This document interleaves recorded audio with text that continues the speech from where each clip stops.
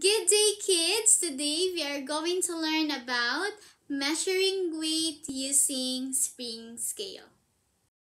Before that, let me introduce to you the standard units of weight.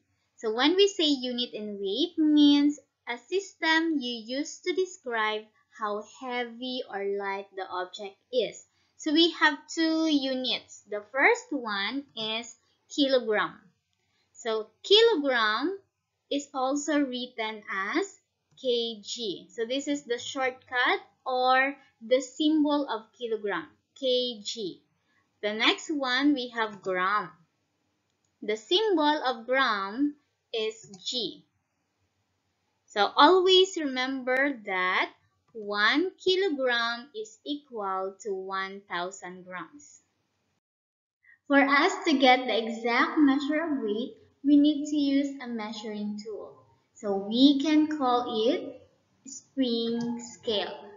A spring scale consists of different parts. The first one is face. So let's describe what is face.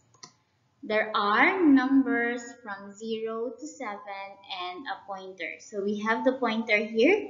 And then the number we have 0, 1, 2, 3, 4, 5, 6, and 7.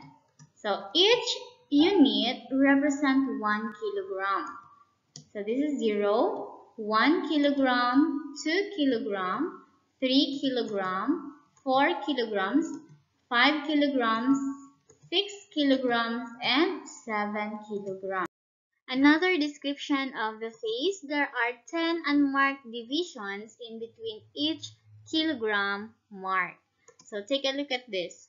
So we can count like first, second, third, fourth, fifth, sixth, seventh, eighth, ninth, and 10 divisions.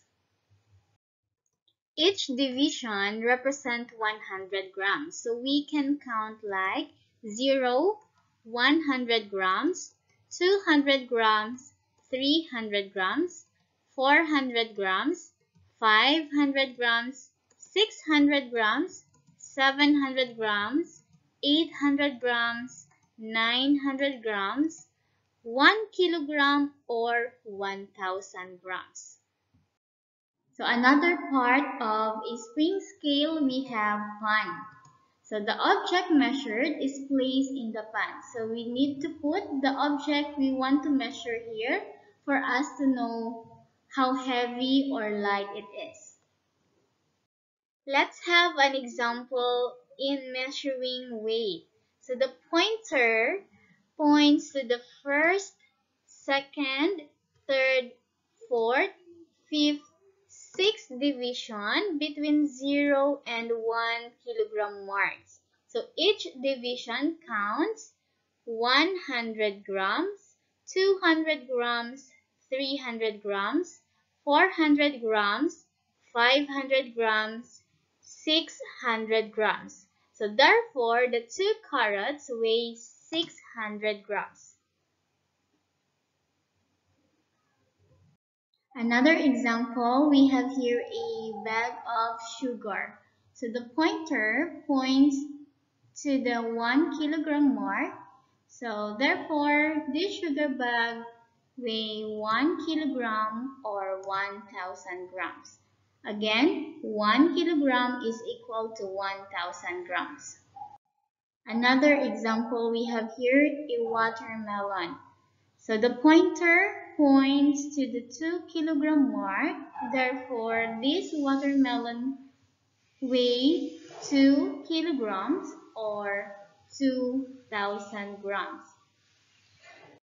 In this figure, the pointer points near at 1 kilogram marks to first, second, third division. So therefore, the six apples weigh 1 kilogram and 300 grams or 1,300 grams. Next example, we are going to measure the weight of lanzones. So the pointer points near a 3 kilogram mark. So meaning to say we will put 3 kilograms and then first, second, third, fourth, fifth.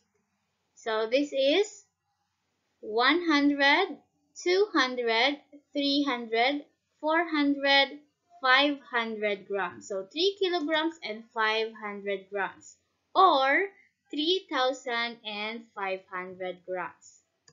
Okay, last example. We have here two bunch of bananas.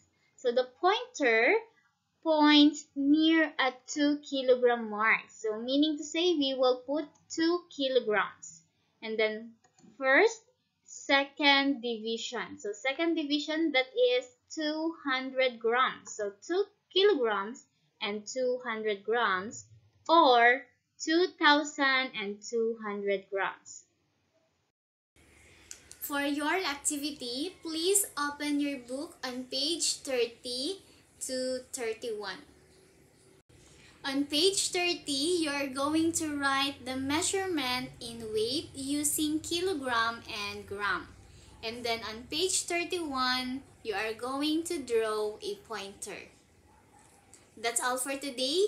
Goodbye everyone and see you next time.